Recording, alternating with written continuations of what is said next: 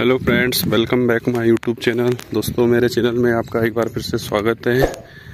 कैसे हो? I hope अच्छे होंगे आप सब। दोस्तों, मैं आज आपको दिखाने जा रहा हूँ।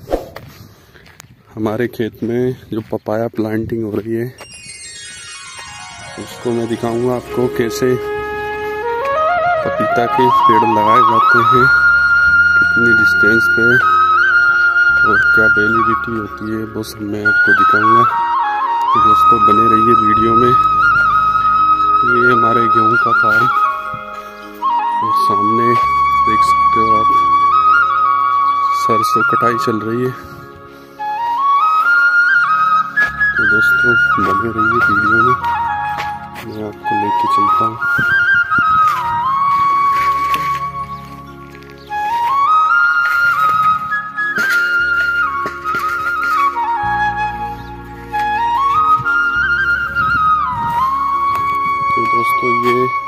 पपाया के पौध जो खेत में लगाई जाएँगी, सामने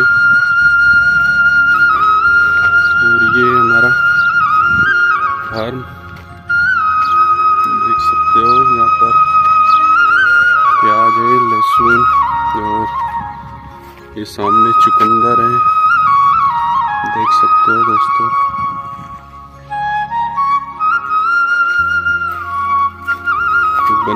दोस्तों, वीडियो में मैं आपको लेके चलता हूँ।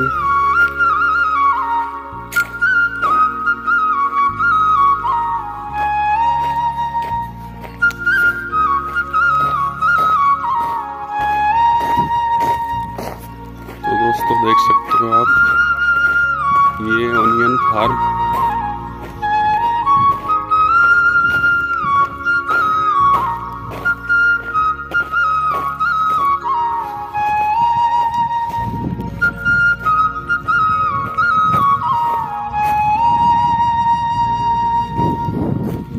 दोस्तों फाइनली मैं आ चुका हूँ, जहाँ पर पपाया के पेड़ लगाए जाएँगे। और उसकी तैयारी चल रही है अभी, क्योंकि रो एंड कॉलम दोनों में जो डिस्टेंस है, वो बराबर रखी जाएगी, ताकि इसमें दूसरी फ़सल का भी उत्पादन लिया जा सके। बने रहिए दोस्तों वीडियो में।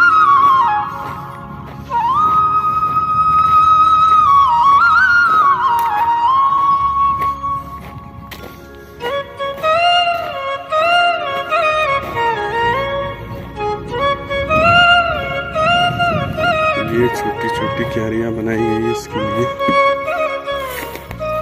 आराम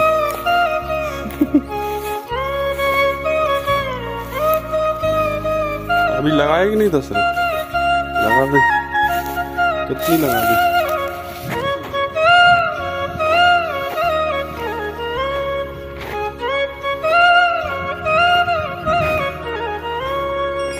कितना पेड़ लग गया तुझे? अच्छा तो दोस्तों ये पपाया लग चुका है। और कितनी डिस्टेंस में? ये सात फीट की। सात फीट की।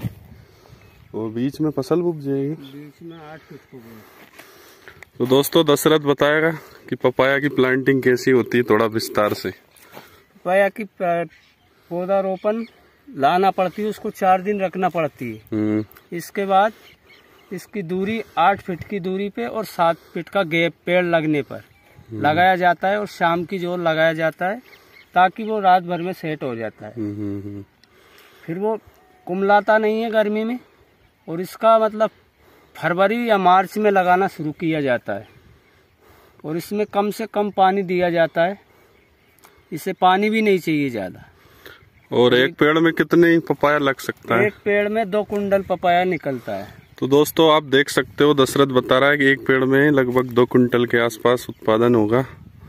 और फिर मार्केट में कैसे? यहीं से ही? यहीं से पूरा बगीचा बिक जाता है। अच्छा। तो काफ़ी अच्छी इन्फॉर्मेशन दी है दशरथ ने। अगर आप चाहो तो इन्फॉर्मेशन ले सकते हो पपाया प्लांटिंग की। और अब अभी लगाया है इसके बाद फिर देखते हैं कैसा क्या है वो भी मैं आपको बताऊँगा। एक दो महीने बाद। तो इसमें पल कब तक आ जाए दशरथ